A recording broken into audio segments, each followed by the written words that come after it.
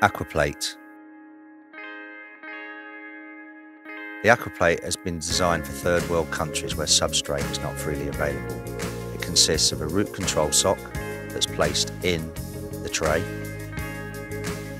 We either do a round aquaplate or a square aquaplate for the easy to grow tray, which is placed on top of the tray, and net pots are then placed in the recesses.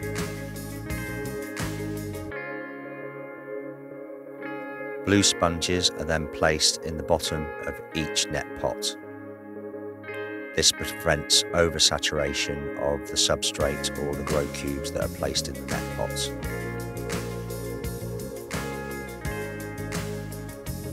Neoprene gaskets or discs can be placed in the top if required. A slit is provided with each disc to allow the plant stem to be held in place. There are five holes. If you're growing herbs, use all five holes. If you're growing one central plant, then this can be used in the central hole. Remove the collar from the aqua valve and thread the pipe through the collar. Connect the pipe to the aqua valve nozzle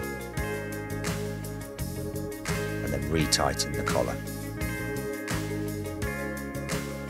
Ensure that the half moon on the bottom of the aqua valve is connected to the T section in the tray and push down firmly.